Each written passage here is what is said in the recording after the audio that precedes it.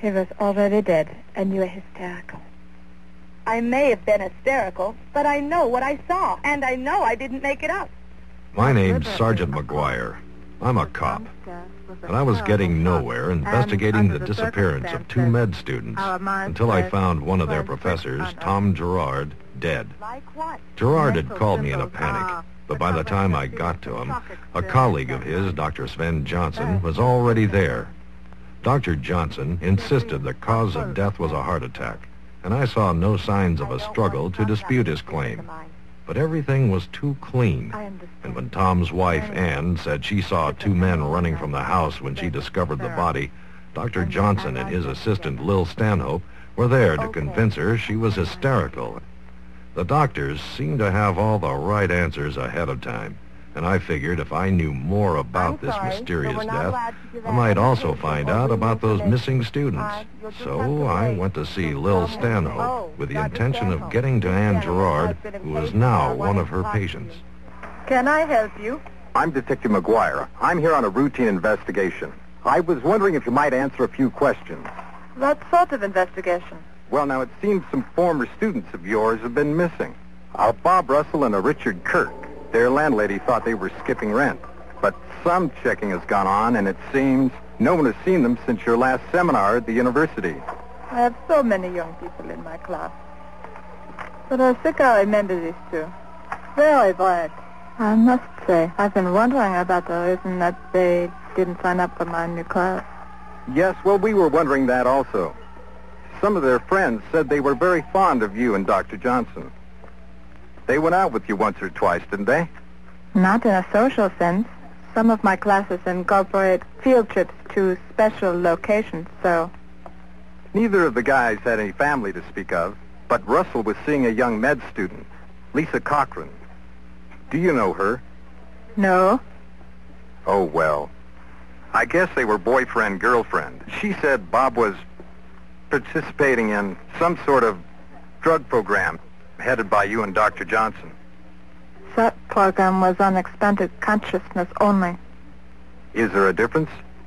Our experiments were on the order of mental concepts only, completely free of drugs, including cigarettes and alcohol. If you say so, I'm sure it's true. But Lisa did mention drugs. If they were using drugs, it wasn't with my knowledge or approval. I'm very busy now, and you seem to know more about my students than I do, so if you'll excuse me. Just one more thing. A friend of mine was admitted here, Anne Gerard. Could you help me find the room number?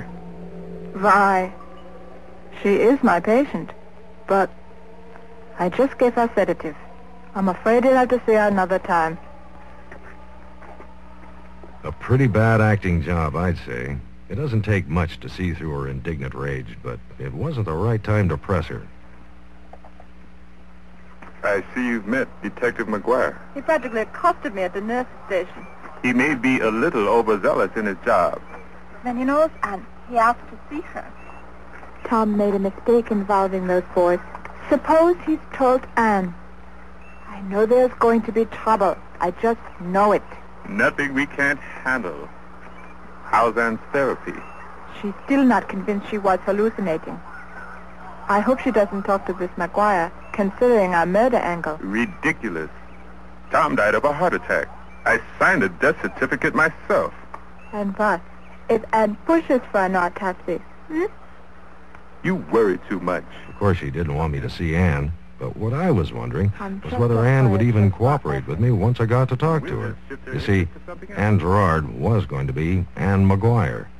She broke off her engagement for no apparent reason, long as she's and the next day she was getting married to Tom Gerard. Perhaps Catherine could stay with her for a while.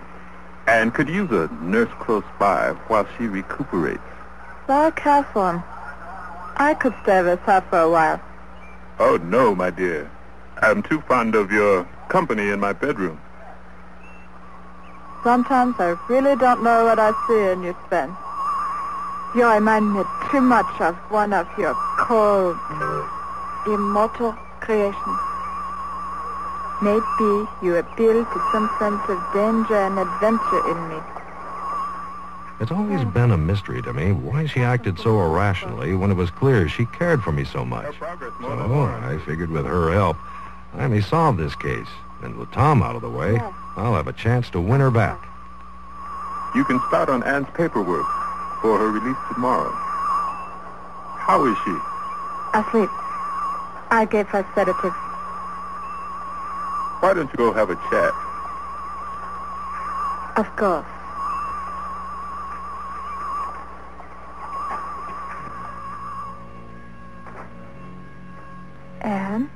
Are you awake? Anne? Anne? Anne? Anne?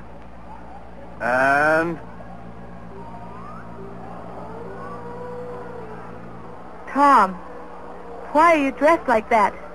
Do you love me, Anne? Yes, Tom, I love you. Turn around, Anne.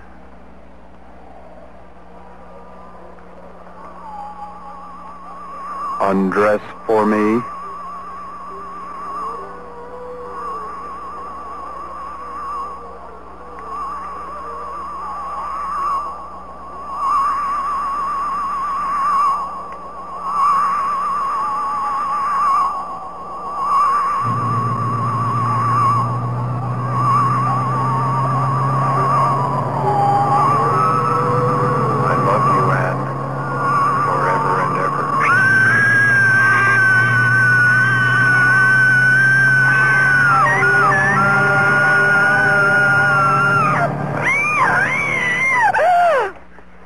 Good.